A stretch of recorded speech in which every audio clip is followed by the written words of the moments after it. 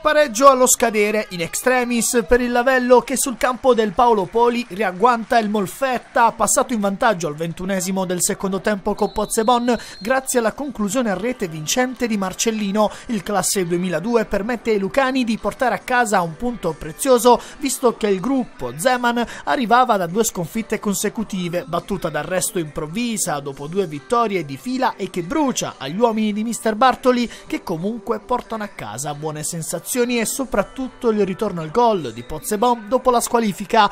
Primo tempo subito vincente al terzo minuto con il cross di Fedel che si trasforma in un tiro, palla che colpisce il legno. All'ottavo ecco la risposta dell'Avello sugli sviluppi di un corner, Sessia calcia forte a fini traversa, Viola ci mette il guantone e manda in angolo. Dalla bandierina Mercuri pareggia il conto dei Lenny scheggiando la traversa direttamente da corner. Primi minuti di grande intensità seguiti da una fase di studio, poi al 25esimo Wattara ha la chance per colpire in porta ma Dubaz è tempestivo nel suo intervento, azione che sfuma dopo lo spavento. Genki al 40esimo riceve palla in aria, la sistema sul sinistro e calcia, Chironi si distende e respinge, la prima frazione di gioco si chiude sullo 0-0.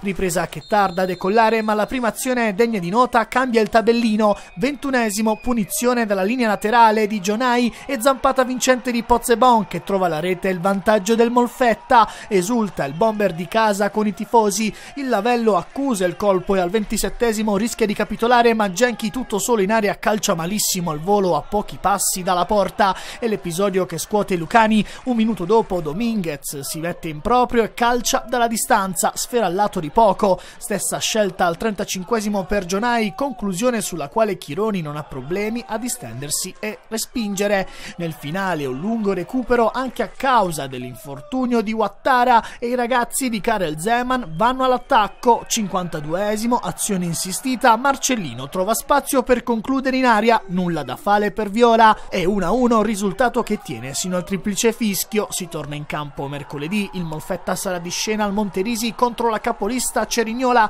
Lavello che ospiterà il San Giorgio.